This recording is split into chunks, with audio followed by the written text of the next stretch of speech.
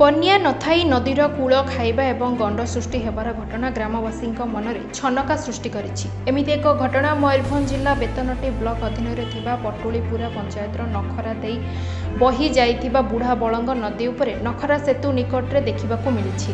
ତେବେ ଏଭଳି ଅଳ୍ପ ବର୍ଷାରେ ନଦୀର କୂଳ ଖାଇବା ଏବଂ ଗଣ୍ଡ ସୃଷ୍ଟି ହେବାର ଘଟଣା ନଦୀ କୂଳରେ ଚାଷ କରି ଚଳୁଥିବା ପରିବା ଚାଷୀ ଏବଂ ସେହି ସେତୁ ଉପରେ ନିର୍ଭର କରୁଥିବା ଲୋକମାନେ ଭୟଭୀତ ଅଛନ୍ତି ବୋଲି କହିଛନ୍ତି।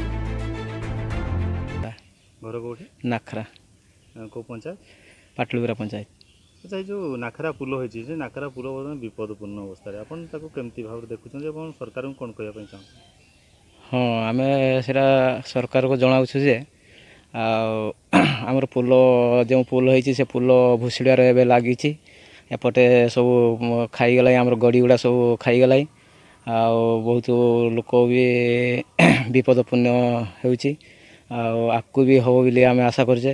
ସରକାର ଏ ପୋଲକୁ ଟିକେ ଧ୍ୟାନ ଦେଇ କଲେ ଆମେ ଟିକେ ଉପକାର ହେବୁ।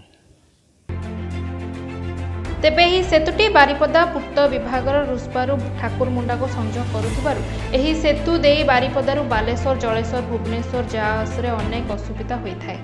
କିନ୍ତୁ ଏବେ ଏହି ସେତୁ ନିକଟରୁ ମାଟି ଖସିଯିବା ଏବଂ ଗଣ୍ଡ ସୃଷ୍ଟି ହେବାରୁ ଏହି ସେତୁ ବିପଦ ସଂକୁଳ ଅବସ୍ଥାରେ। ଏହି ସେତୁର ଏଭଳି ଅବସ୍ଥା ଦେଖି ସ୍ଥାନୀୟ ଗ୍ରାମବାସୀ ବେତନଟିର ବିଭାଗୀୟ ଅଧିକାରୀଙ୍କୁ ଅନେକ ଥର ଅଭିଯୋଗ କରିଥିଲେ ମଧ୍ୟ ଆଜି ପର୍ଯ୍ୟନ୍ତ କୌଣସି ସମାଧାନ ନ ହେବାରୁ ଆଜି ଏହି ସେତୁ ଲୋକଙ୍କ ପାଇଁ ବିପଦ ବୋଲି ଗ୍ରାମବାସୀ କହିଛନ୍ତି। ତେବେ ଏହି ବୁଢ଼ା ବଳଙ୍ଗ ନଦୀ ଆଡ଼କୁ ବନ୍ଧ ଉଚ୍ଚ କରି ପଥର ପେଞ୍ଚି କରିବା ପାଇଁ ଗ୍ରାମବାସୀଙ୍କର ଦାବି ହେଉଛି। ମୟୂରଭଞ୍ଜରୁ ରାଜଗୁପ୍ତାଙ୍କ ରିପୋର୍ଟ ଲୋକଶକ୍ତି ଟିଭି।